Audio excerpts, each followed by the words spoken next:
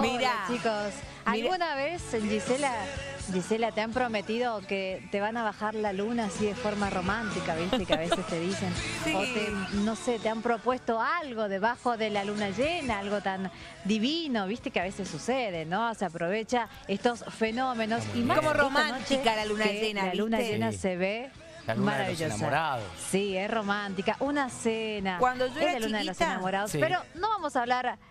Sí. Ay, perdón, Sofi, cuando yo era chiquita decían el lobizón, que No, había no. una- un ¿Qué personaje que, que era el lobizón. ¿Pero qué tiene que ver con el amor que estamos Bueno, hablando por ahora? Maipú, en Gutiérrez decía que estaba suelto el lobizón. Pero son muy antirrománticos en Gutiérrez. Claro. Escúcheme, Gisela. No, se sigamos pasa con, la la- niña. Con todo lo romántico. Una cena bajo la luna llena, es divino, espectacular. Eh, pero vamos a hablar acerca de la luna del cazador, así es como se llama esta luna llena, eh, que eh, nos va a contar todo Walter García, él es divulgador científico. ¿Cómo estás, Walter? ¿Qué tal? Un gusto volver a estar con ustedes. Bueno, ¿qué nos puedes contar de esta luna? Bueno, esta luna se encuentra exactamente casi en un 100%.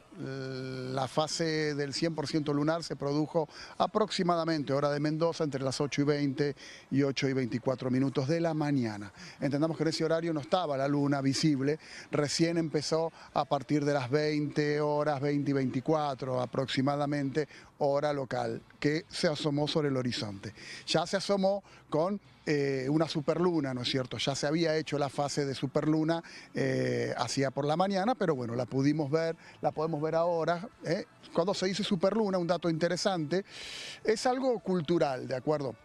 No es algo científico, no podemos decir nosotros la luna se encuentra en superluna, no.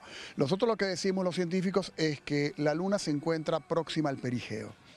Existen dos puntos en la órbita de la Tierra respecto, eh, la órbita, perdón, de la Luna respecto a la Tierra, que es un punto más cercano y un punto más lejano. El punto más cercano se le dice perigeo, próximo a la Tierra.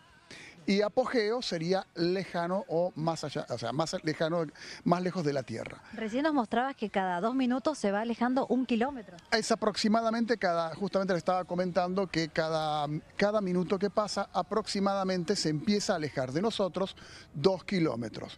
Y eh, lo cual es muy rápido si ustedes lo piensan, ¿no es cierto? Y esto se debe a que, bueno, vuelvo a reiterar, como sucedió a las 8 y 24 de la mañana, a partir de ese momento comenzó a alejarse lentamente la luna respecto a la Tierra. Y cada minuto que pasa, obvio va a seguir alejándose. Pero bueno, son Sí, los escucha Walter. Hola Sí. Walter, ¿cómo estás? Hola, Buenas noches. Walter. El gusto de siempre, ya tenés una columna fija en el noticiero, vos buscaré los contenidos nada más, porque venimos del eclipse la semana anterior.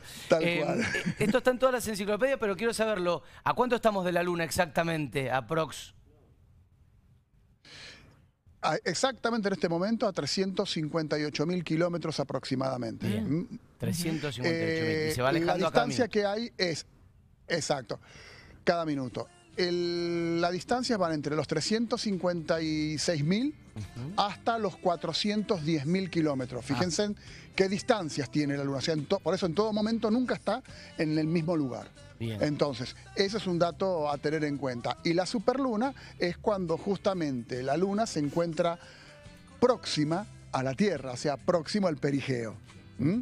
Eh, punto exacto, en punto exacto varía.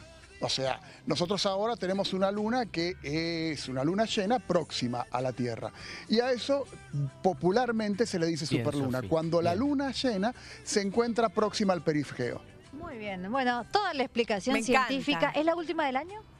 El, el noviembre me parece que tenemos otra. Bien. Noviembre, cerca del 15, por ahí. Volveremos, Walter. exacto. Bueno, esa sí va a ser la última del año. Ahí volvemos.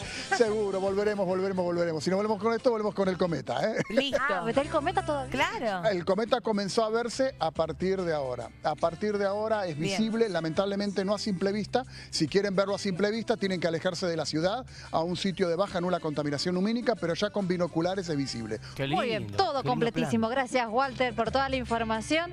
Y para los románticos, pueden dedicar algo debajo de esta luna preciosa que nos acompaña, una luna llena divina. Así que, bueno, ¿quién dice? Claro, lindo, pedir matrimonio, plenimacio, no sé, algo. ¿Matrimonio? No, digo, bueno, no sé, cualquier, mire lo que Claro. es. No tenemos Eh, que sí, ir, menos nos salvó, el cantando. Sofi, nos salvó el cantando. Chao, chao.